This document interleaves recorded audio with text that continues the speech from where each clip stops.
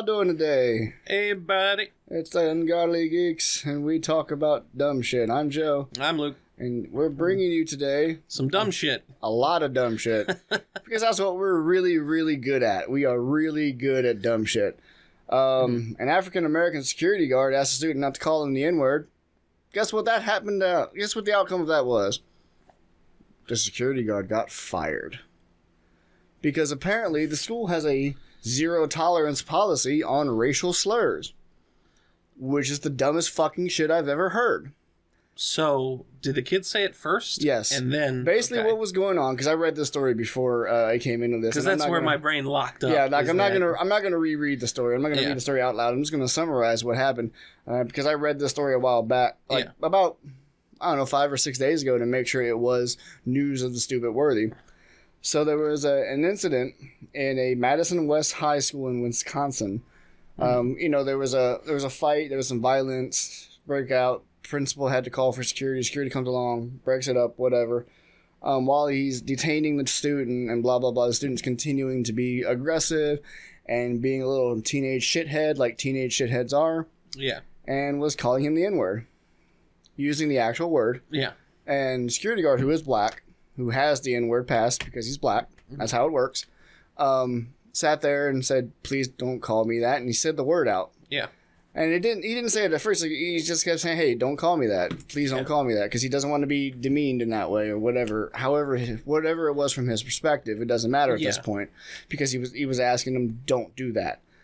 And uh, he, after a while, student kept just egging him on and kept doing it. He said, "Please don't call me N word." Yeah. Principal heard that and fired him because they have a zero tolerance policy on racial slurs.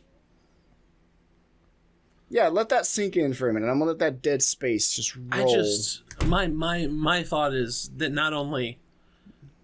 Like, is that ridiculous? yeah, right. He should have had a pass to just beat the shit out of the kid. At this point, Just yes. to whoop the shit out of him. Maybe teach him a lesson.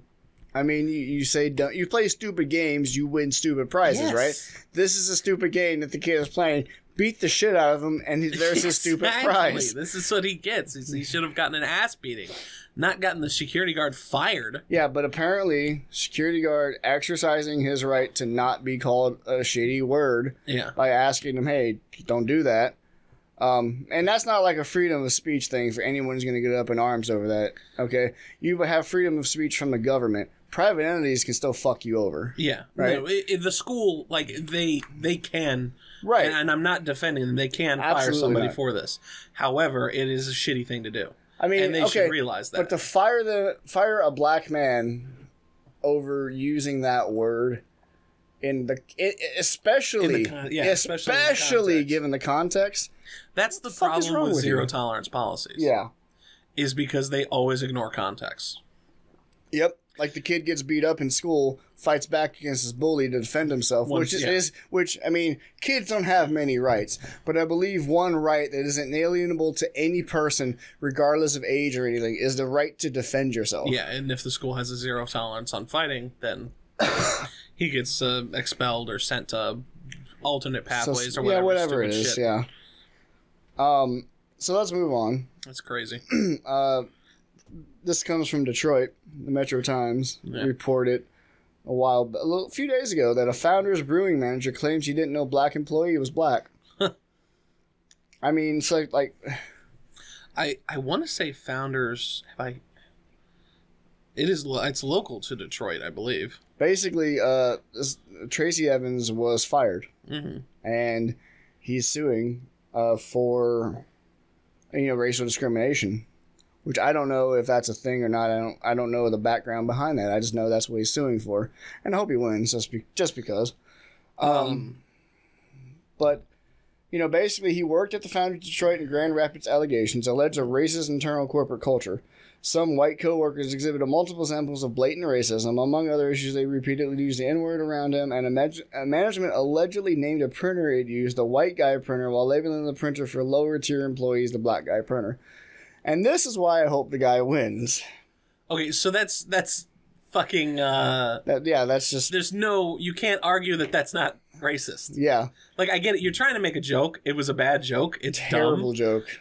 Like if he had if if if this was somebody that I was friends with, that I knew we could like joke about something like that, Right.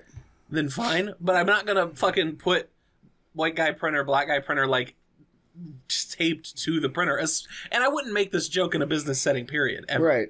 This would have to be one of my close friends that I know. They'd probably make the joke before me. Right. Like, oh my god, I- that's so retarded. It, it, it- this is the dumbest shit ever. And like, so he he got fired. Um, of I- course. Yeah. And Wait, the guy who brought up the yeah, the guy who Evans, Tracy Evans, the, the the person in this thing who is black, yeah. who was fired, and the manager who fired him claimed he didn't know he was black. So the manager's the one who put the notes on the. I don't know who put the notes on it. Okay. Like that, it doesn't say that. It's just management and everybody kind of management allegedly named a printer it used a white guy printer Okay. while labeling the printer for non-management the black guy printer. yeah. So it would be like us going to Walmart and having like a fancy ass printer in like the management office, and then the printer for the rest of us is a black and white laser printer that half works and sometimes doesn't print anything on the paper it feeds through out like in the general area for us to access. And they called their printer in there the white guy printer and called our printer the black guy printer. Yeah. yeah. Which is like why just, just why And he was fired in retaliations for threatening to meet with human resources. Right. Basically, he's like, "Hey, you guys are being blatantly racist, and I don't like it. It makes me uncomfortable," which is a perfectly reasonable statement. This is so. Um, Founders Brewery is the largest craft brew beer brewery in Michigan. Right. Um, which, if you know anything about craft beers, that does not mean it's very large. It's no, a small no. company. Yeah. Um, Uh, although, and they- do have like multiple locations. Uh, they do, and they So- have one less now. An update to that story is Founders uh, Founders Brewing uh, is closing its Detroit tap room indefinitely uh, during this uh, racial uh, discrimination lawsuit. So they were being racist assholes. They got called out on being racist assholes, and I think they know they're losing this case. Yeah. one hundred percent. They're going to hemorrhage money. yeah. So they're they're they're going to stem that tide by closing a location down, Close so, yep. so they don't have to pay for it. uh, posted this news to their Facebook page on Friday. Uh, as has been reported in recent days, Founders has experienced some cha- challenges at its Detroit tap room. We're we've uh, we're dealing with those challenges so that we can continue to serve beer lovers in Detroit. To accomplish that, we would be closing the location until further notice. All of our Detroit employees will be paid during this time, including those who have said via social media that they plan to protest during this closure to call attention to concerns. We have uh, we have committed to working closely with our employees to make any changes to the company that need to be made to ensure a positive future. Those uh, conversations are underway. Unfortunately, this temporary closure is affecting the debut of our popular CBS. The CBS bottle pickup and CBS tapping uh, party won't be happening as a scheduled uh, as scheduled at the Detroit Tap Room. We greatly appreciate all the enthusiasm for the introduction of this year's CBS. Uh, we will be issuing all refunds, yada yada yada, Like, okay, that's that's and that's then we thank our customers. Yeah. blah blah blah. Basically, the Yeah. typical PR jerk off. So it sounds like they've gone to this tap room specifically and went, "Y'all managers fucked up. Yeah, We're closed." Because I I would be surprised if they're not going and taking a fucking like scythe and just slicing through management at that location. yeah, Because of, from what reading this and then that article yeah. is that they have just like the they the dude has just been having racial slurs thrown at yeah, him the no, whole no. time. Basically, um, Employees like have just been basically talking all the shit they want. Management Evans said did little Oh about the God. racism he encountered, and he claims he was fired while preparing to make a second formal complaint to Human Resources about such issues. Yep. The suit is moving through the trial process and is in depositions. That's where founders revealed a startling and arguably ludicrous defense. We didn't know The manager who fired Evans is claiming he didn't know that Evans is black. Motherfucker, can you see? Like, can you see? Could you have eyes? Do they function? Are you colorblind? I don't understand. Even if you only saw in shades of gray, you could tell that he was a darker skin tone than your white employees.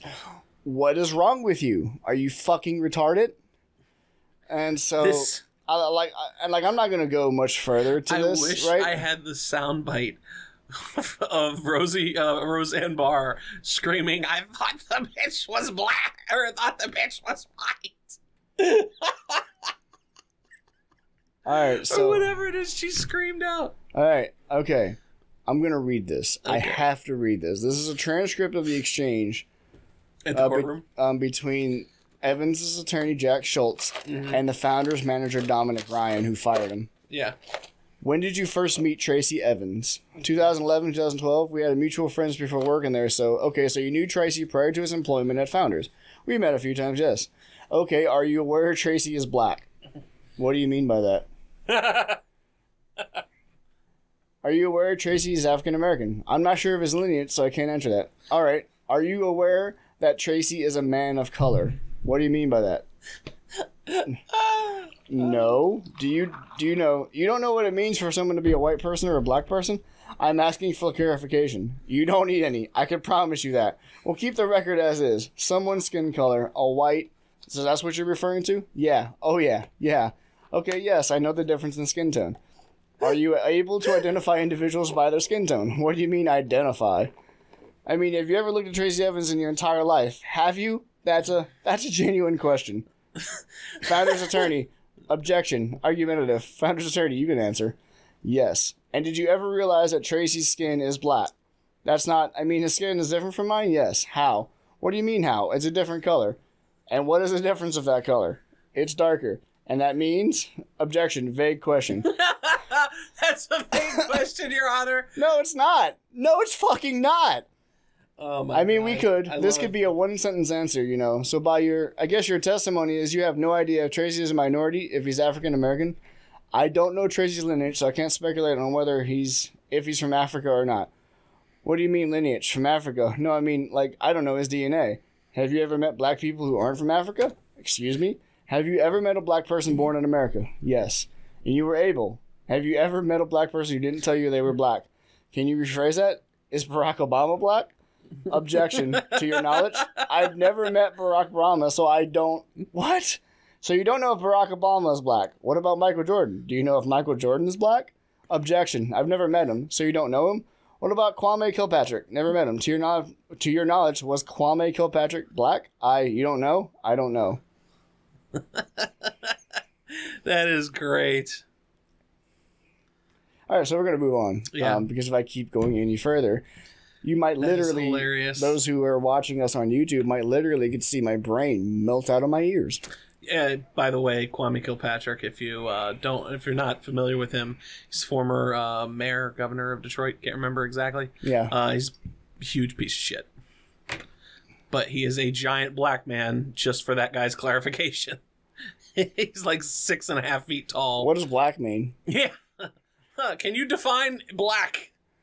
I mean, all right, if we're gonna get like literal, the skin tone is brown, Yeah. right? But it doesn't matter at Person this point. of African American descent. Um, uh, a person. I of- love. well, okay. I love that we have to like that Oh my God. they have to clarify that in court because that's just kind of how our law works. Is that you have to prove that this guy knows what a black person is, and he's that's where he's trying to like dodge. Like if the dude was born in Ireland, where literally everyone is a pasty white piece of shit. Fine, I fucking get you've, ne- but like, Yeah. I just you- you're in America, you know, and not only that, you're in like Michigan, you're in Detroit, you're in these areas where there are a lot of black people.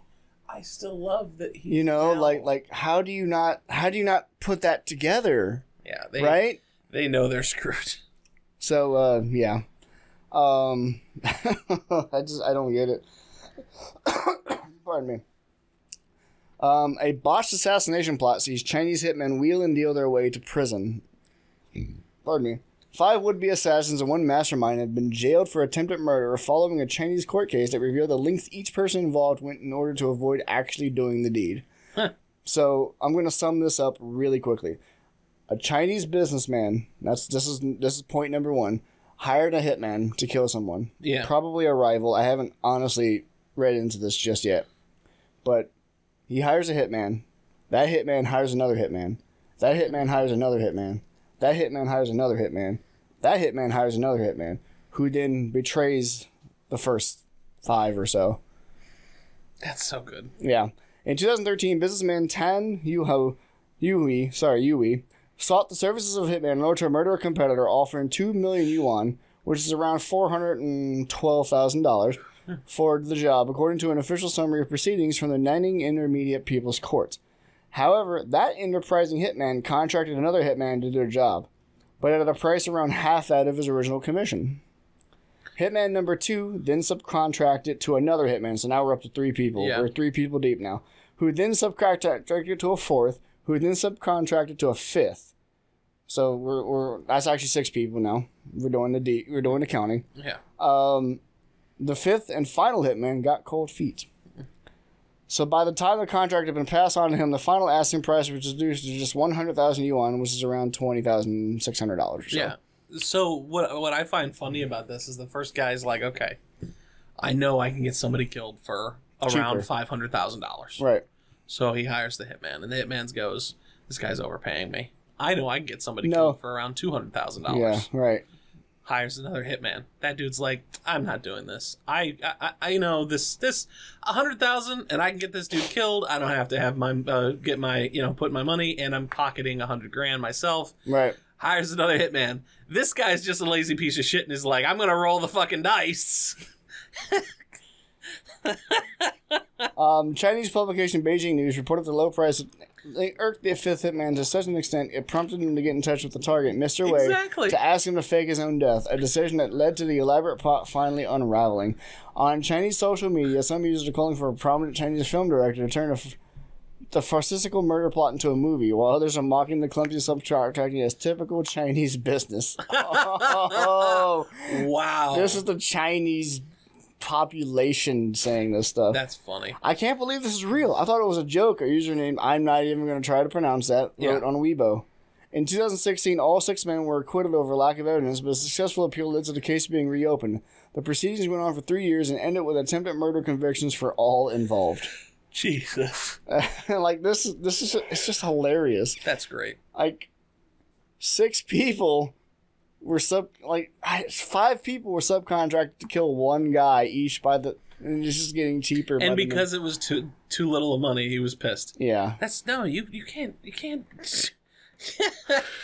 That is some fucking apparently it had to do about Mr. Wei against this idiot. Um, he was launching two civil lawsuits against him Yeah. regarding a shared property property development. Um, so fearing that he was going to lose money on the over these lawsuits, He decided Or- to make that guy go away. yeah, the court said Tan procured the services of Hitman to kill Mr. Wei shortly thereafter.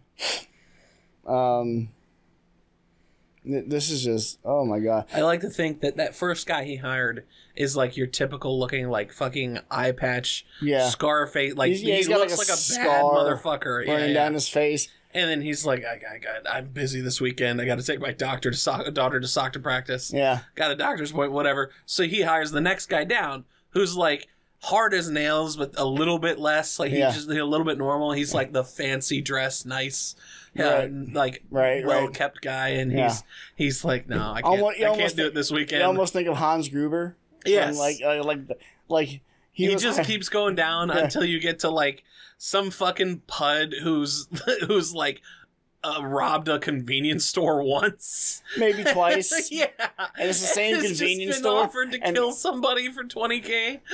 and the only thing he robbed from that convenience store was a couple of, like microwave burritos and some cup Yeah. noodles. Like, Yeah, yeah. He's like, and then the second time he got like two hundred yuan. And now he's being offered, and he's like, "Oh my god, I, I don't know what to do. Uh, this doesn't seem like enough money. Uh, Yeah, yeah. Hey, I'm gonna kill you. You want to fake your death so I don't have to yeah, basically. make this easy for me? Jesus fucking Christ. So basically, Tan will serve uh, five years in jail, and the hitman he hired to do the deed, Xing Gunghua, will serve three years and do six in six months. Mm-hmm. Hitman number two, Mo Xiang Zhang, will serve three years, while Hitman three and four. I was hoping they'd all go down by one.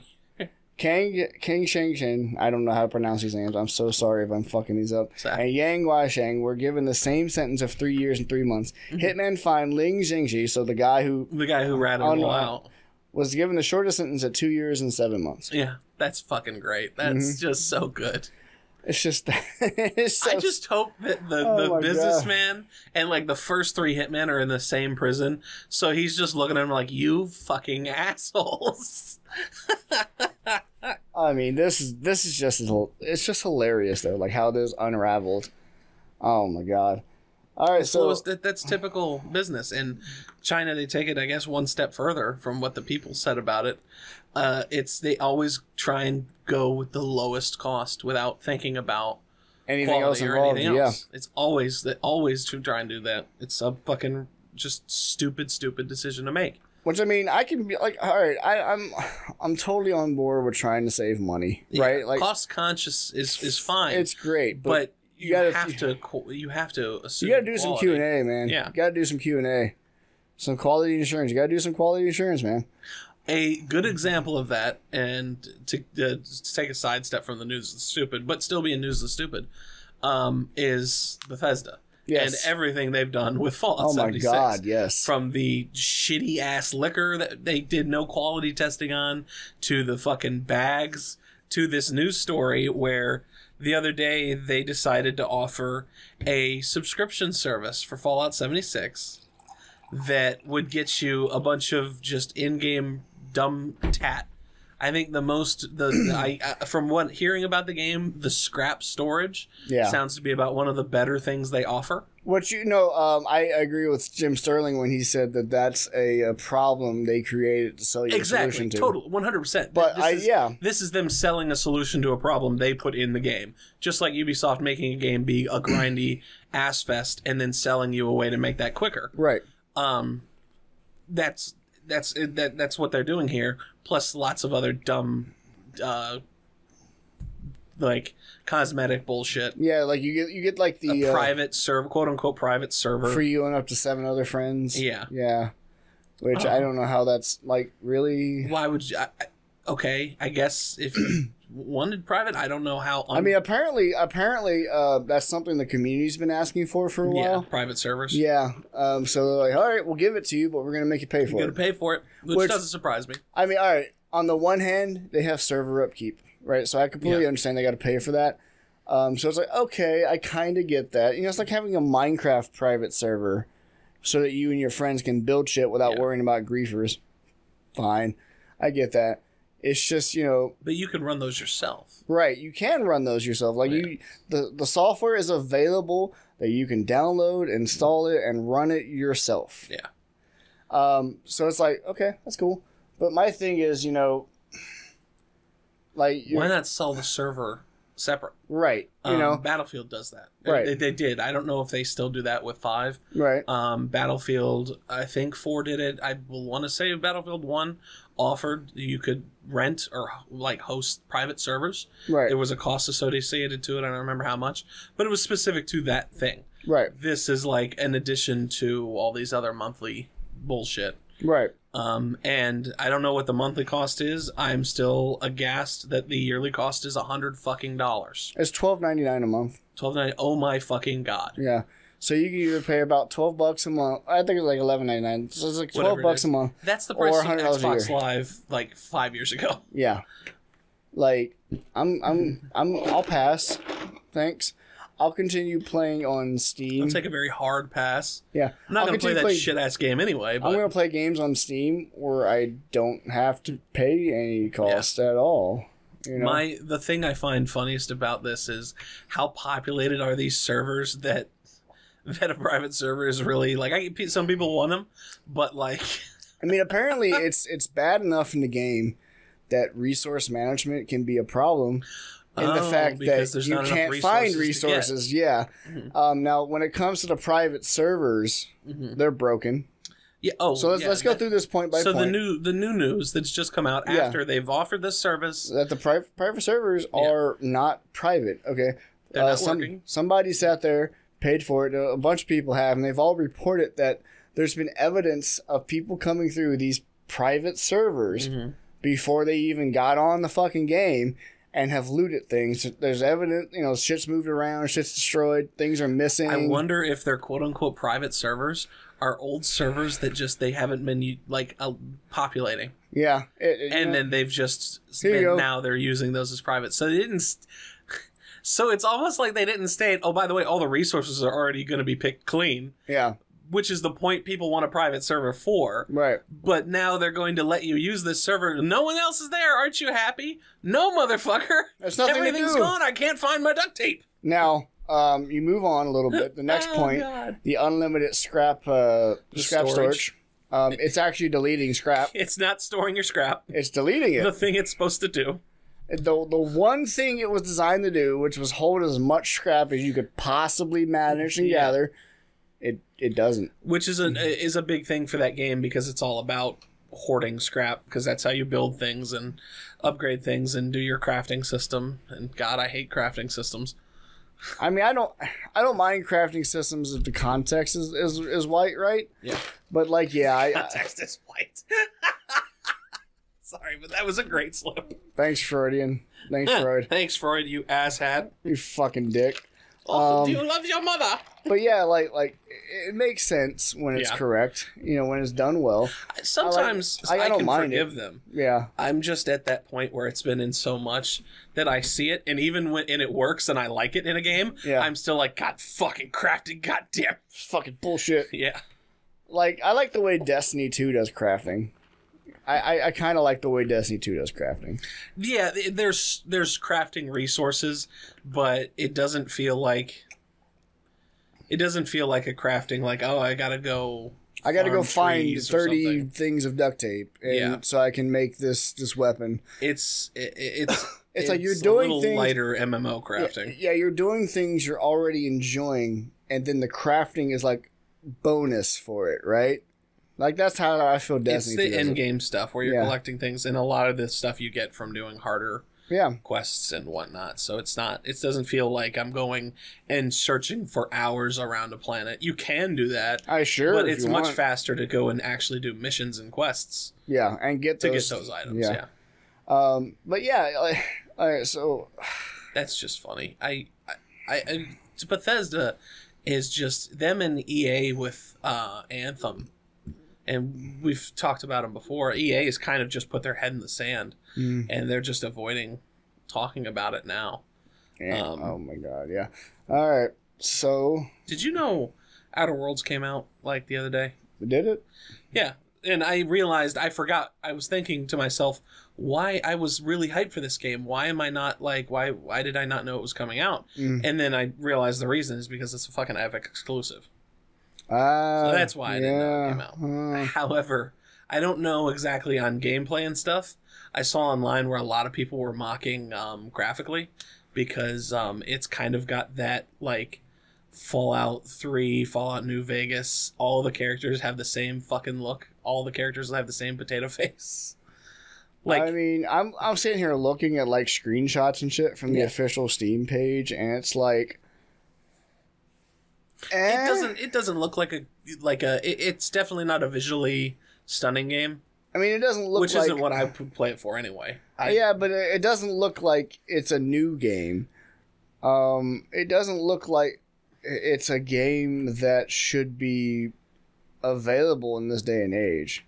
Like the faces look kind of okay. This guy kind of looks like Nathan Fillion, but I'm like, I'm sitting here looking at these. It's like, okay, this is this is not bad, but it honestly looks like it looks a little dated graphically. it looks like a mod Skyrim or Fallout 3 playthrough. Like it looks like looks like where somebody just took um, Fallout 3 or Fallout Hey, not, not even not As even- long as it's not the same engine, I don't care. Yeah, no, it's definitely not. Um, But like it- what it looks like is somebody took Fallout New Vegas or Yeah. Fallout 4. Which one of those were more gray? I would say Fallout 4, right? Uh, new, Fallout 4 was less colorful. That's what I'm going for. I would s- probably. I'm I would say it's more- between the two. I would say it's more drab, right? So it looks like somebody New took, Vegas was very. It was a desert setting, but so- but it was Vegas, so it was very. They had colorful buildings and well, stuff. yeah, no, they're very, both very similar in that respect. Okay, Fallout well, always is Okay, great. then I guess it doesn't matter which one Yeah. you're looking at. I would say Fallout 4 though, just because it is a little bit better graphically. Yeah, Um, it looks like somebody took that, added a bright, colorful foliage mod, and then put an ENB on it. Yeah. To make it look to make things a little smoother. Like that's what it looks like to me. when Um, it comes to these games, though, just like other big games, uh, like as long as the game is good, yeah, I will very much Yeah, no, ignore that absolutely, because like- this is this is done by um, Obsidian. They developed Fallout New Vegas, which I had tons and tons of problems with bugs and graphic. The graphics weren't really great. Um, lots but, of bugs were hilariously uh, oh god, horrendous so bad, horrendous. Well, because and horrifying. Like the you- development time Bethesda gave them was absolute, te- absolutely awful. Yeah, They were demanding the game be done, and then they denied giving them um, the bonus they promised because the game was like one point off the Metacritic score that they wanted, even though the game sold, off. even though the game sold gangbusters. yeah, Um, but I love Fallout New Vegas' story is and and like the gameplay. It they did Fallout better than Bethesda did with Fallout Three. One hundred percent. I mean that's not really surprising, Uh, well, no, Fallout Three is an amazing game as well. right? Fallout Three is no no joke of a But I, game. what I'm saying is, is like it's not surprising that they did something that Bethesda does better than Bethesda does, because I, mean, I don't know what Obsidian did before that, yeah, but for a smaller studio to make the upgrades they did, hmm that was what was impressive. But I mean, even just the simple story stuff, which isn't so much a technical standpoint, yeah, but they made a much more compelling story, many more interesting characters. right, right, yeah, Um, They have like six factions that all matter. Um, where Fallout, um, like Fallout 4, for example, there are three. yeah, And the endings are pretty, mediocre, yeah, at, best, At, at best. yeah. So, I mean, New Vegas is so- like so the- the- above and beyond. The point that I was going to get to Mm-hmm. um, with Bethesda is that, and it's something I have noticed um, Mm-hmm. because I've been playing. Uh, like Elder Scrolls games or what I'm going to have to draw the parallel to because that's their other big franchise. Very similar, yeah. Um, Morrowind, story wise, I thought was amazing. There is so much depth to that game, Mm-hmm. And then you you get um, you get Oblivion released, and it's not quite that same level. you can see where they're trying to make it a bit more user friendly. Yes, in yeah. both gameplay and story. But what that does is it dumbs that story Yes. down. So like Morrowind's up here, Oblivion's a little bit lower, maybe Mm-hmm. right right here, and then you get to Skyrim where there is almost no story. It's just it's just Yeah. down here, and it's just go kill thing. That that's basically what it amounts to. Go Yeah. kill thing before he kills you. the the thing where I was I, honestly with Skyrim, I was kind of looking like, okay, the story's gonna be this is where I'm gonna find the story. Right. With like you go and talk to the Blades, uh, and their side thing. I'm like, oh, here we go, the Blades, because I had they they yeah, no, Oblivion, they're, and they're a huge part of Oblivion. Yeah, Nope. and they're they're incredible. They're nothing They're a huge part in Morrowind too. Like you, Yeah. you actually like if you follow the main storyline, you work for the Blades. hmm So it's like, huh? And then in Skyrim, they just kind of They it- kind it's of- a side thing that doesn't matter. Nope. and then the main quest line like you said that the war is just you you feel like an observer the whole time Yeah, you are Uh, definitely an outsider. yeah. Even if you play as a race that would be native to Skyrim, you still feel like an outsider. You know, Mm-hmm. even though you're the one that's doing literally everything yeah, that's what's annoying it's it's one of Like- the like- reasons i don't know like that. That's kind of how it goes too. Morrowind is you are a prisoner Mhm. who, for some reason, got conscripted into this plot to do everything. And as you go further, it opens up and becomes more epic, and now you're like a struggle for the land. Whereas uh, Oblivion is kind of similar in that all, way, all three games you're a prisoner right? and then you get swept up into this bigger but oblivion does it so much I, I don't know like oblivion just they spent more money on like voice acting hmm and character hmm you meet Tiberius Septim and it's um um jean-luc picard You Uh, mean Uriel Septim? Uriel Septim, sorry, yeah. Yeah. Uh, and it's the that that I, now I can't think of fucking uh the, the guy's name. Are you talking about Patrick Stewart? Patrick Stewart. Yeah, he does the voice. yeah. Um, and he's it's interesting. Like I, okay, I gotta say, I want to. I, I, I do want to throw this out there to any game developer who might be listening. Um, big time, small time, whatever, doesn't matter. Yeah. If you can get Patrick Stewart to do a voice in your game, Yeah. especially a big one, it doesn't matter how terrible the game is. I will at least try it. probably yeah. I, I just want to hear him talk. As long as he's not playing the poo emoji. Yeah, like Patrick Stewart's one of the you know Patrick Stewart for me is one of those people like uh, uh, Morgan Freeman Sam or Jackson. James Earl Jones, Sam Jackson, where you just want to listen to them talk. Yeah. It's like I don't know why his voice is so soothing, and like I, to add to that, something that I love is that his for I don't know if it still is, but I know for the longest time his Twitter picture was just a picture of his face in a ball pit with all the light shining on it. It and I was like, great. this is amazing. I don't even know why. Um, but yeah, I I But so Bethesda's fucking with, up, with, man. With uh, Obsidian and right. in uh, New Vegas, they they really did make a make a game that Mhm. stood out, Right. and everyone was excited. People really wanted to see their take on the next Fallout, and Bethesda's was like, no, they don't get to play with the keys anymore. So now they went and did their own thing, which I- is I- Outer Worlds, which is why it was really really hype until they went and went exclusive to the Epic Store, Yeah. which sucks. I mean, it's okay. So the Outer Worlds hasn't even released on Steam because it won't be for what six months. Um, It released today sometime on the 2020. twenty. It, it released today actually. Um, Oh, did okay. yeah. So it's like, uh, apparently they're going to be doing a Nintendo Switch version. Really? Yeah, That's um, that's that's yeah, that is interesting. I don't give a shit about it, but you know, but any uh, one more thing I want to make, Mhm. um, like another point that I I was getting to and I got sidetracked or whatever when it came to the storyline of the Elder Scrolls games, where it. Like I'm all for trying to make it appealing to as many people as possible because you want people to play your game, you want people to buy your game, you want people to enjoy your game Mhm. like you know people will shit on games for not having a good story or having terrible cheap mechanics that aren't like you know super niche or something Mhm. I, I kind of agree with them like one thing i would have loved to see in skyrim is like a dedicated magic casting key like you had in oblivion yeah. but um which by the way you didn't have that in morrowind They wanted, they, But, like- I like- get why they wanted to go with uh, right spells as their own thing. It's Right. it's understandable, but yeah, but like you, you can definitely see where the dumbing down and the paring down was present in Skyrim. Because you look at like you look at Morrowind. Um, when it comes to like character voices and lines and stuff, there are some that you, you you'll hear over and over again, but then there are many NPCs who do have unique voices. Now, granted, with Morrowind, voice acting wasn't as big a thing you you, you mostly got single line dialogue when like you walked up to somebody and they would say something to you yeah, like hi outlander or whatever uh, but there were way more unique dialogues I mean, way more unique voice actors. The same thing was in Oblivion too. You didn't run into where you had the same twelve voice types. You know, there were more voice types. There were more people that spoke.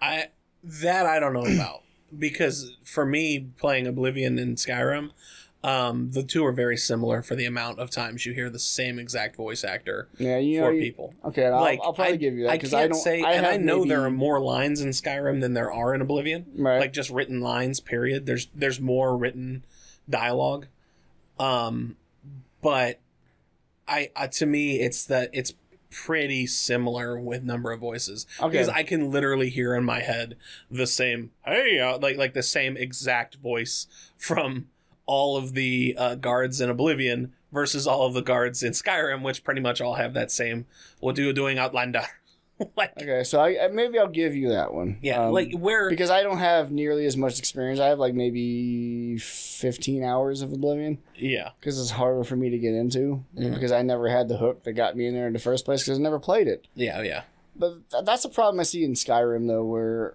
you only have so many voice types. And while there are a lot of different voice types, they're all done by like the same voice actors. it's difficult for those games I- because I there's would so say that- much. I'd say there's like 12 voice actors, maybe 16. It seems like there's so Um, few. But then you look at a game like The Witcher 3 or like any other game with a lot of like every voice is unique, you know? Almost every voice is It unique. feels that way, but I know that when you compare it to the amount of dialogue, the amount of people you can hold a conversation with, Yeah. it it doesn't even come close. Right. No, I, It doesn't but, even but, but even like even when you look at the unique characters, of which there are I've a lot in Witcher 3. that I will say is I've always thought that Bethesda one thing they needed to do, and I, unless I'm misremembering, Fallout Four did that better, Mhm. where main characters, characters that had lots of different dialogue, they had their own voice actors, and then lots of the other wastelanders and and people and raiders they Right. were reused more. But when it came to the main like main quest line, people that you encountered in that, they were they had specific voices. Yeah. Like even someone like there's this little old lady that you meet early on that's Yeah. addicted to chems that stays in your camp. I think she was the only one with her voice as well. Right. Um, there's a few that get used, but for the most part, they all. I think they did better with that in Fallout 4. Uh, Um, but I, I get what you're saying. yeah. 100%. Like, like like that's one thing I did, did bother me in Skyrim. I think the that- biggest dumbing down Yeah. for those games, and with Skyrim, I think it did it the worst, was they wanted to make it easier to make more content. Right. So they came up with the random dungeon generator so that they could quote, oh, there's always a new quest and everything will be new. When in reality, you're going through the same exact, almost the same exact looking places, the same exact looking, Mhm, um, mhm. say the e- exact same thing that's just been a little bit different. You're fighting the same Draugr, the same Yep. enemies, or Falmer. or bandits, yeah, or uh, Or- dwarven automatons, or bears. So So maybe maybe there'll be uh the fucking tree spirit thing. Yeah. I can't remember the name of it. Yeah, if you go to a grove for some reason. Yeah. But yeah, those were all always the same to make it easier so that they could make the game bigger, but they also they they, they hurt themselves because that's the way the like even the storyline quests feel. Yeah. Is Uh, they like- end up like- doing the same thing. yeah. When you look at it uh, and you look at the variety, there's Mhm. only like like Ulfric. His his voice is unique. Mm-hmm. Um, uh, General Tullius, his voice is unique, Yeah. and I know there are others whose voices are unique. Obviously, the dragons have unique voices. No Mm-hmm. one else sounds like the dragons. Arngeir has his own voice, but then you look at the rest of them. Like like I, I know I've heard Delphine's voice in other characters. Mhm. Esbern might have a unique voice. I know I've heard Legate Rikke's voice on other characters. Like these are all big time players, Yeah. But you hear their in many instances you can hear their voices. I know they repeated. take it even the the specific voice actors, yeah they will do different quote unquote voices. They're not talking the same, but you can kind of tell it's the same person. yeah I think in Fallout they did a better job of them sounding different. right. um, so it doesn't sound like the same like it's talking to you. But it's like you sit there and you you, you hear like like I- I don't care so much for the dialogue, but when you sit there and you hear eighteen different NPCs that all have the same exact voice, it's like okay, that's a little weird. um, I don't know, but I get it too. At the same time, there's a lot of stuff to do. So taking away what was it that they took away in Fallout? Um, oh, they gave your character a voice. Yeah. in Fallout Four, yeah, so the I think- personalization was less there. I think was a, a bit of a mistake. I do too. Like I Um, like people want to bitch and whine and complain and moan about the silent protagonist. I think in games like Fallout and, and New Vegas and, and like games like that, you need to have that silent yeah. protagonist if you are to immerse yourself in the role. and I didn't I didn't hate the guy in Fallout Four. I thought it was done well. Yeah. but yeah, I, I would have I would have preferred that. Um, the big thing with Fallout Four, and again for the dumbing down of those games, um, Fallout Four did a better job with quests. It didn't get to be the same, samey, same, same Right. as Skyrim, but at the same time, um, leveling up and all that was dumbed down. Uh, they did it better, a little bit better in Skyrim because they Fallout uses perks instead of um, the exact way the, the the Elder Scrolls games have you level up. Uh, and I think it's a better I system. mean, Skyrim uses perks too. yeah, that's where they took the system it's- from. They're a bit different.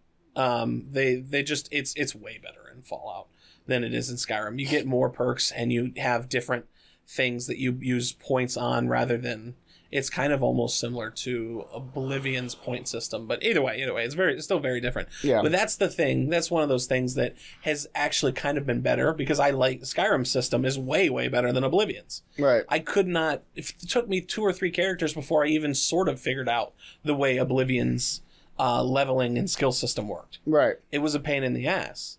I mean, Morrowind's was pretty similar. Um, Yeah. So like, but they had there was more to it. Spears were their own thing, and there's lots and lots of even more yeah. where they've kind of simplified it, which is not always a bad thing. Mhm.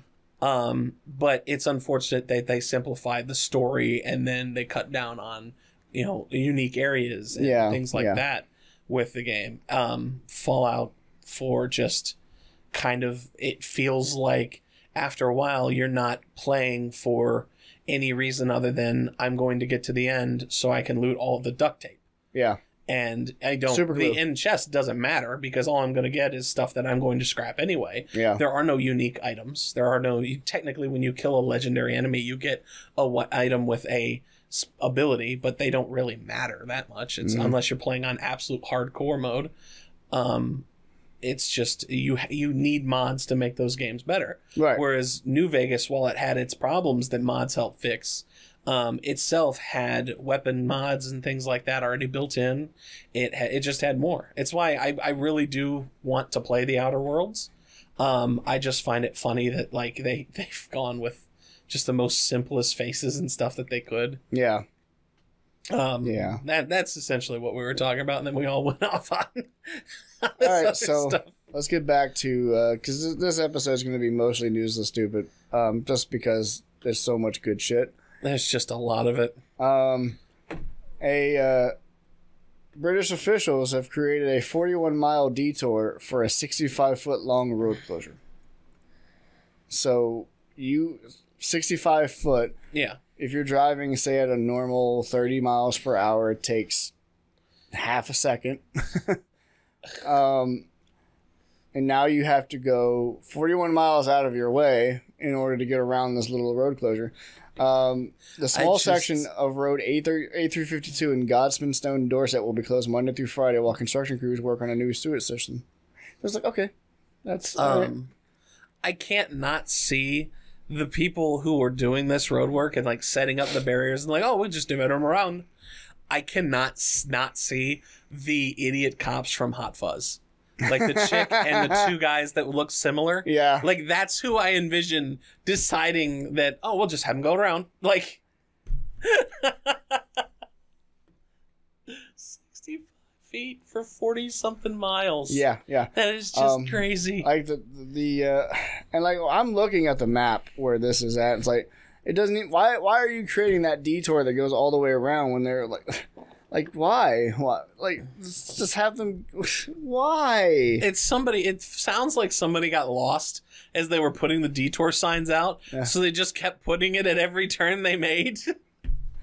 well like most of it, it it's literally just you go all the way up here you take a right you go all Yeah. the way over here you take another right go all the way down take a right then a left and boom there you are That's funny. It's like it's incredible though, like a forty-one mile detour for for two sec, two seconds of driving now becomes an hour and twenty minutes. Yeah. It's like what the fuck? I don't get it, man. But hey, that's that's what happens. Now, some of you guys may have heard about this, um, because it's a big day. It's a big deal, and I know Fox News would have made a really big deal out of this because they are sucking Republicans' cocks all the time because they're the conservative They're news fair and balanced. What are you talking about? Um, 12 Republicans who stormed closed door impeachment proceedings had already had permission to attend. So, like, I know Fox News would have made this a big deal, like, oh my God, they're doing all this dramatic shit. But no, they're really not. They're just being assholes. Um, many of the House Republicans who on Wednesday stormed a closed door hearing that was part of the impeachment inquiry into President Donald Trump would have been allowed to go inside if they wanted. More than 30 Republicans forced their way into the hearing, delaying it for about five hours. They now face allegations of na- risking national security. Mm-hmm. 12 of those 30 were already able to attend the hearing as they sit on relevant committees, but they said they entered to protest its secrecy.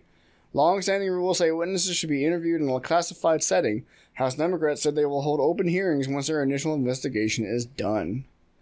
So, these guys, being dumbasses, did this. It's like, why? They did it in protest. They did it in protest. What does this guy have to do for them to go, huh, maybe we shouldn't back him anymore? Like, does he have to literally sacrifice a child on live TV? No, he could shoot someone in the street. Does he have to, like, go so far as to maybe go into pedophilia on live TV? I don't get it. Like, what does he have to do? What does he have to do? Has he not done enough terrible shit? All right, one more story. Um, man sues AT&T after a fraudulent SIM swap led to a 1.8 million dollar cryptocurrency theft. 1.8 million dollars. That that is a lot of fucking money for something as simple as that. A lawsuit against AT&T alleged that the carrier's employees helped hackers perform SIM swap attacks on a customer and rob him of 1.8 million dollars worth of cryptocurrency. Plaintiff Seth Shapiro of Torrance, California, said AT&T is liable for the act of its employees and failed to implement systems and procedures to prevent them from pulling off the scheme. The complaint filed on October 17th in U.S. District Court for the Central District of California says, on at least four occasions between the 16th of May and, and the 18th of May, uh, 2018 to 2019, basically a year and a little bit, AT&T employ- employees obtained unauthorized access to Mr. Shapiro's AT&T wireless account, viewed as confidential and proprietary personal information, and transferred control over to over Mr. Shapiro's AT&T wireless number from his phone to a phone controlled by third-party hackers in exchange for money. The Oh. hackers then utilized their control over Shapiro's AT&T wireless number, including control secured through cooperation with and uh, with AT&T employees to access his personal and digital financial accounts and steal more than two, just about yeah. That is I mean, I bet they wish they did this like six years ago. right? when Well, that was probably like Well, two million. a few years ago when that was. I mean, that wasn't that long ago. Okay, yeah, yeah, It was- like three years ago. We're talking like 2016, Right, right, 2017. right before I bought crypto, Yeah, wasted money in it. yeah. Um, that would have been nice to buy like twenty five dollars worth of Bitcoin and have it balloon to like a million. Fucking yeah.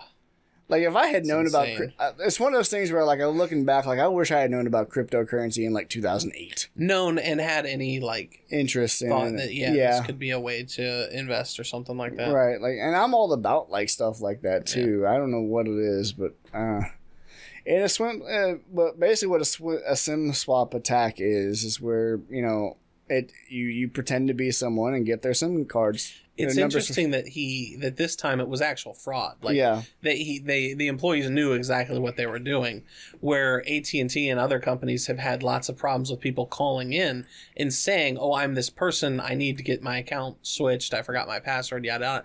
And they're just like oh okay no problem. Here you go. Mhm. and just give the person access. Yeah, and this has happened with like celebrities where their information's gotten leaked and and with lots and lots of people. Yep. this time it like I said it's it's it's it's, it's legit like these employees are going down yeah. Um, for Shapiro whatever. Black backs his lawsuit up with details from a criminal case fired by the U.S. government. So like this is this is legit against nine people, including former AT and T employees Robert Jack and Jarrett White.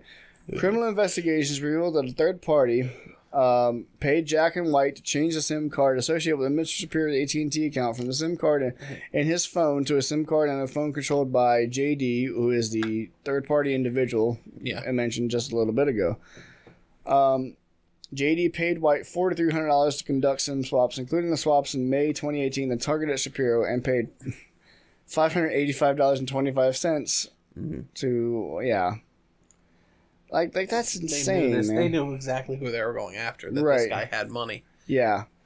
Um, these employees were prolific SIM swappers, with White conducting Oh, wow. 29 unauthorized SIM swaps in May 2018, and Jack conducting 12 unauthorized unauthorized SIM swaps that same month.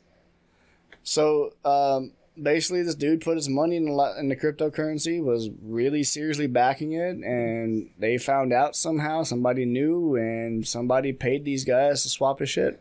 I wonder how much this guy lost in cryptocurrency, though. If he had a million dollars, and assume we assume Bitcoin, just because it's the easiest to assume. Yeah. Um, if it was anything else, then he lo- might have lost even bigger because that's an insane amount to have in something like Dogecoin. Um, the digital currency stolen during the SIM swap attacks also included cryptocurrency raised by Shapiro for a business venture. As a result of the theft, Shapiro had to end the venture and lay off all employees, which really sucks, right? Here's where it gets interesting to me. Yeah. Um, this is not the first such lawsuit filed against AT&T. Nope. The company was also sued by a man named Michael Turpin, who says that AT&T allowed a SIM swap hack that cost him nearly $24 million worth of cryptocurrency. Jesus fucking Christ. Yeah. I bet that happened during the boom. Um, in July, a federal judge allowed Turpin's suit against AT&T to move forward despite AT&T's arguments that Turpin didn't adequately explain how the phone hack led to the loss of his cryptocurrency and that AT&T shouldn't be held responsible for the misconduct of hackers who stole the cryptocurrency. Turpin recently wrote an open letter to the FCC, Chairman Pai, Chairman, oh god, uh, urging him to issue new security requirements that carriers would have to follow to prevent SIM swap attacks. When contacted by Ars about the Shapiro case, AT&T says we dispute these allegations and look forward to presenting our case in court. AT&T also noted that it provides customers with information about SIM swap scans at this webpage, but did not provide any specific information during Shapiro's allegations. Yeah. Dispute, despite disputing Shapiro's lawsuit, AT&T says on their website that it is improving its technology and training to reduce the likelihood of SIM swap attacks. Okay. Yeah. That's all I can say. It's so- okay. So I mean, they do kind of, in a way, have a point Mm. of how are we liable for what they did when they stole? Yeah, we're liable because they stole.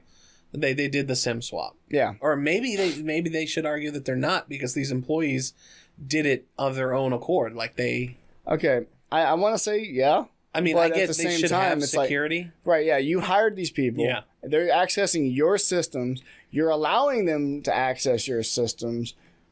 I don't you're think- you're a little bit complicit in this too. I don't think they could held be held liable for the full amount. ty- Is what I'm saying. Right.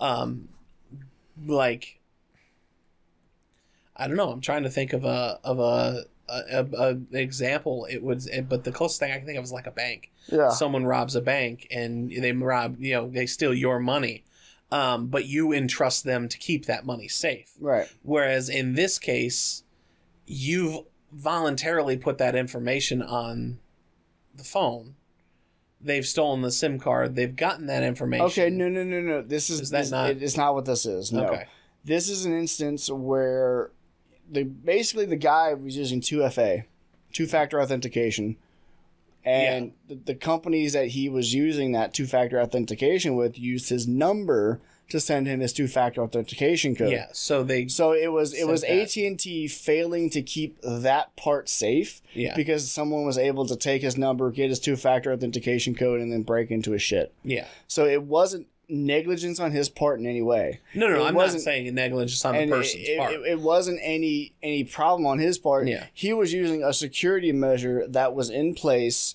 So and, and AT and T failed to keep that safe. to protect his number. Right. They failed to It was- protect his personal information. You had Yeah. somebody within their network that they hired that they chose to represent their company in in some Yeah. light, and that person acted, you know, without any sort of scruples, without any sort of uh, Yeah. integrity, and was swayed by forty three hundred dollars, and in one instance as little as five hundred bucks. Yeah. to sit there and and do this and hurt people. Yeah. So, I mean, yeah. yeah, it's still. I- guess it's not. AT and T didn't promise put your million dollars on on our phone number. Will hundred percent protect it the way like a bank. Right. No, would. but but it's also that's why I'm saying they they shouldn't be on the hook for the whole thing. I wouldn't. I, I wouldn't expect them to I be I anyway. would I argue it in a different light um because it doesn't matter. Like that doesn't matter in my Mm-hmm. honest opinion because AT&T says here's your number, this is yours, yeah. you know, this is your private information. That's what they're protecting. That's what they need to be protecting. Yeah. It doesn't matter what's tied to that personal information in in the light of cryptocurrencies or whatever like that. They still have that duty to protect that information, make sure it doesn't get out to people, make sure people who should not have access to it have access to it. Yeah. And in this instance, they failed to do that. So I don't know if they should be on hold for all 1.8 million. And honestly, that is up for the courts to decide. Maybe the courts decide you're you're owed so much more. Maybe they'll decide you're you're gonna only gonna get five hundred thousand back. Whatever Yeah. but I still think that this case has merit. Obviously, I know I know you do Oh too. no, yeah, I, I totally agree. Like one hundred percent, you should sue for this. They didn't protect him, even if it was the employees. Mm-hmm. They they acted themselves. It wasn't it wasn't a lack of training. If anything, it was No. maybe a lack of like Mhm. verification on people's parts. Yeah. But again, the dude did it for like thousands of dollars. The one was five hundred dollars. Yeah, one of them one of them was But- paid 40 4600 4300 whatever. Yeah, The other guy was paid five hundred twenty five dollars and some shit. Like, come on, dudes. yeah. It's it's hard to say to guarantee people, Yeah, you know, when you're talking about that kind of money, right. um, because I you know AT and T's not paying these guys a fucking decent wage. I mean, that forty three hundred was probably like you know a quarter of that guy's paycheck or something like that. Forty three hundred dollars. Well, what is this? I mean, this guy might not be anybody but a fucking call center worker. Right, but he's a call center worker who has access to personal information. True. So I mean, it's a little bit more than that. I, but- yeah, but I'm sure mean, three 40 hundred is probably a a month's lot of pay for this guy. Well, maybe two months pay. But Yeah, yeah, that's what yeah. I'm saying. Like, like that's that. This is not a small sum for this guy. Right. Um, which, yeah, it, I, I It's just amazing to me, you know. Basically, yeah, no, this guy should totally be paid paid out something, man. Yeah. He should get something. we need to have a better system than SIM cards. Like, there needs to be something that immediately alerts you, or some type of better verification for Mhm. like SIM swapping. Yeah. because that's just that seems it seems too easy. And again, this is like people taking money to do it. This isn't even the worst like the worst the the, the like most um uh like it's been done by people who've just said, "Hey, I'm this person." Oh, okay, let me take care of that for you. And Yeah. just swapped it. Yeah. Like it's this time it almost seems like oh we have a bad guy. These guys took money and then they committed fraud. when it's it's been so much easier in the past. Yeah. Um It's why it's just I don't I I, I remember back when Verizon didn't use uh they didn't pull SIM cards. yeah, they didn't. bought no. the phone and it was tied to the yeah. network. In, in order for you to swap phones, you had to buy another you had phone to from them. get a brand new phone and you had to get it from yeah Verizon. and you had to put your, your MEID in and, Mhm. and get it all registered on the network. Yeah, I remember that too. yeah, I, I Like, kind of like I'm I'm torn personally. Like Yeah. I'm very very torn. it is like- easier like- with SIM card. Right. Like like I, I love the convenience of SIM cards. Like Mm-hmm. I like being able to take the SIM out of one phone, put it in another, and keep going as if everything is fine. Yeah. I love being able to upgrade my phone that way. I love that freedom. But at the same time, if it's this easy to get my number transferred to another SIM card, like that is bothersome. it's one of those things where it's like like I s- like you always caution you know always be careful with what you're doing with your money Yeah. what you've got it tied to you're too if you've got a million dollars in in bitcoin or any type of online venture probably have it set to a phone that is that no one knows I that mean, no one okay. has that number No, no, no. I'm going to go even further than that and say that if you're going to have that much money, yeah have a two-factor authentication method that doesn't depend on your phone number. yeah And if you're going to something go that can't be compromised like and if you're gonna go with something like oh and and if like the service you're going with Mhm. absolutely requires a phone number Mhm. no Mm. phone numbers and this is something I, i've complained about in the past two-factor authentication over sms is the worst one of the worst and least secure methods like SMS is unencrypted, it's open. Anybody who is watching or even remotely paying attention can just go intercept your text message and steal your shit. yeah So if somebody sits there and say fakes uh, a cell tower, you're fucked, right? And granted, that is way more difficult. But the fact that SMS is so, and this just proves it because all they had to do was get the SIM swapped to another thing. Another, or another problem with it is like, well, what if you change your number and mm-hmm. forget to swap it?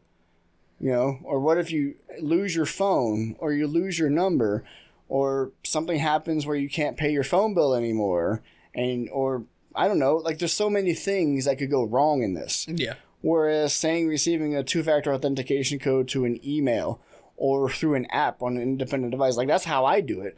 I have a phone sitting in my room locked behind three doors and a and hard encryption and passcode that handles all my two-factor authentication for me yeah right? Like it has it has my authenticator app. It has all my codes in it all the time. Mhm. My apps because I have multiple authentication apps for different services. Like boom, which in one instance can be really inconveniencing to me because you know you, I have to you're always sacrificing convenience for security right. But if I'm sitting there like let's say I'm out and about and I forgot to sign into Twitch one day. Yeah. Now I want to sign into Twitch on my phone. Well, fuck, I can't because my authenticator code is at home. I'm out here in, Yeah. you know, I'm on vacation or something, so I can't do it. Oh well, fuck it. I guess I'm not watching Twitch. Yeah. But it's like that's like that's the kind of well, I'm, I'm still gonna watch Twitch. I just can't participate in anything. Yeah. But uh, that's kind of how it works, you know. But it's like it, it's worth it to me Mhm. because that can't be compromised. That phone's not connected to the internet beyond. uh, Well, it is, but it's not connected to any cell phone tower. It's just Wi-Fi. It's just Wi-Fi. It's just there. It's in my house, which by the way is behind other firewalls. Like, and no security is foolproof. But Mhm. in this instance, you require physical access to the device. You can't get physical access to the device without going through a whole lot of trouble. So I don't know. That's just me. I, I complained about that at work too because we use uh, two-factor authentication, which I applaud, but it's SMS based, which means Mhm. somebody could steal my phone and take my SIM card out, and now they have access to it. So yeah. Um, I don't know. I think we can end it off there. Yeah, I It's don't know what else I really want to talk about besides the uh, the company. There's a company now Mm. um, that settles that sells a mini jacuzzi just for your balls. I I still say that that's not. That's uh, not news to the stupid. This is yeah. just amazing. That's Um, just that just sounds like a good product. There's nothing better after a hard day at the office than soaking your bollocks in a bubbling jacuzzi. At Uh, least that's the new view of Testicuzzi, a brand new groundbreaking mini hot tub tailor made for your two veg. Testicuzzi. Um, yeah, no. See, they even have a great name. Uh like apparently this isn't even like a parody or anything. It's an actual website. It's an actual product. Um, Lewis Black used to have this bit where he talked about I can't remember if he was it was part of like if he was president or if he was super rich that he would just want to have enough money to hire a personal ball washer yes, yeah. and it would be someone who had a salary uh, nothing sexual about it or they would just bring like a hot wet towel and wash his balls Uh, you know what? the ultimate flex of wealth that that reminds me of. That makes me think of the uh, the guy that Snoop employs to roll his joints Yes. for him and his and blunts. just rolls blunts all day like the dude rolls like hundred blunts a fucking day. Gets paid between forty and fifty thousand dollars, and he has so many perks. yep like being able to smoke the weed he rolls, going backstage at concerts and shit, getting merch he and all goes that. everywhere Snoop goes Yeah, he, he, hangs out travels with Snoop. Like who the fuck? You get paid to hang out with Snoop Dogg. and they uh, what And smoke celebrity weed was with it? Snoop was Dogg. it Seth Rogen. Seth? Yeah, Yeah. talked about the, the dude's just there, and it's just anytime Snoop puts his hand out, this dude's got a blunt for him, puts it right in his hand.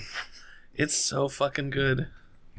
Seth Rogen was sitting there talking about how like he observed the guy and was just watching him and Yeah. was just enamored with with his work. With his skill of rolling blunts, It's like that. I want that job. that would be an amazing. I, I job. want that job. I need to start practicing my blunt rolling so that I can roll amazing blunts. And then I need to apply for that job to somebody I know who smokes a lot of weed. Yeah, Like, hey, Seth Rogen, hire me to be your. I'll Um, just roll blunts for you all day. I'll roll blunts for you all day, man. You don't even need to pay me that much. Pay me what I'm making now, and I'll be fine. I think that's uh, that's that's the sort of thing where like. Seth Rogen's not gonna have a dude. No, to no, roll of blunts. course that's not, no. Snoop is is that's a Snoop thing. That is very Like- much a Snoop thing. Like I mean, uh, Seth the only Rogen is still very much that guy who's rolling his own blunts. yeah. And sometimes, even though he's rich, even though he's rich as balls, probably does it like in his mom's basement sometimes. Probably. Or Yeah. I mean, he's got friend like I'm sure with his friend groups, like Yeah, most yeah. of those guys. Like there's people that just roll. Um, I would say like I'd be surprised if Willie Nelson doesn't have somebody who just rolls. Yeah, I wouldn't. Yeah. Rolls joints for him. Yeah. Willie Nelson so- seems like a joint guy to me. hmm He smokes joints. He's very much a J guy. Yeah. Very much, yeah. Uh, he, he he just ve- he oozes that vibe. Yeah. Whereas Snoop's gonna be smoking blunts. I see. I, Seth Rogen is a guy I see smoking out of a bong or a bowl Yeah. like we do. Um, but yeah, like I definitely very much see. Um, yeah, Ooh, man, I used to love, and it was so weird because it was like a show but not a show. Snoop Dogg had a, a YouTube channel where he did interviews, quote interviews with people. yeah, and yeah. the random celebrities. And most of the time, you would watch it, and it seemed like the show hadn't started because they'd just be sitting there, like Snoop be humming something. They'd be just kind of like chatting about nothing, and they'd just be passing and smoking. Yes, And there were even guests who would like be looking around, like, "Is this the show?" like, I remember. did we start? um, Did you see the latest uh, Gabriel Iglesias stand up Yes. where he talks about he going was on? that show. I went and watched it after the fact because I thought it was so goddamn funny. Yeah. Oh my god, that, that's what you made me think of. And then he had Mhm. his son with him, and his son's like, "Can I do it?" Like, Yeah. yeah. Oh man. So good. Good shit, good shit. But uh, all right, guys, we're gonna go ahead and cut it off there. Yep. I hope you enjoyed our, our ramblings and our news of the stupid. And Mm-hmm. uh, we did talk about some topical things. You know, we bitched about Fallout Seventy We talked about one topical thing. Uh, well, I mean multiple. you know that that one topical thing branched out a little bit. We complained and talked about things and whatever. Same shit another day. Always, always. Um, but yeah, we hope you guys enjoyed that. If you Yeah. did, uh, you know, give us some money on Patreon. We could use your, you know, If you want to help us out there, you or get some perks just- from it. You know, Yeah. name and credits, and and we make fun of you. You get access to a Discord. Well, you can do the access to Discord anyway. yeah, join the Discord. Join the Discord. It's cool. It's lifeless. It's lifeless, completely lifeless. It's like five of us. I mean, there's like seven of us now. But yeah, let us know what you guys are up to. yeah. Give us a like. If you guys ever uh, had any ideas, you know, I don't know if it to us on matters anymore with ratings on Apple, whatever the fuck we- it is. I mean, it would have mattered like the first two weeks. Now that we're like two and a half years into this shit, it doesn't matter anymore. yeah, well, still give us. No, yeah, still do it. You know, if you liked us, give us some ratings. Give us five stars. Give us one star. Tell us why we suck. I don't give a shit. And you know, hit us up on Twitter Ungodly Geeks. I I check the account pretty often. Um, post there sometimes. Uh, ideas. If you have an idea you want to hear us bitch about, Yeah. it doesn't matter what it is. We'll talk Send about it to anything. us there, Discord, whatever. Like it could be something like, "What about the political climate in Chile?" We'll fucking talk about it. We're researching and find out, man. It doesn't matter. Um, but yeah, for that, that's it. That's all I have. Like, share, subscribe. For the ungodly geeks, I was Joe. I was like, You guys have a good day. fuck Bethesda. And EA.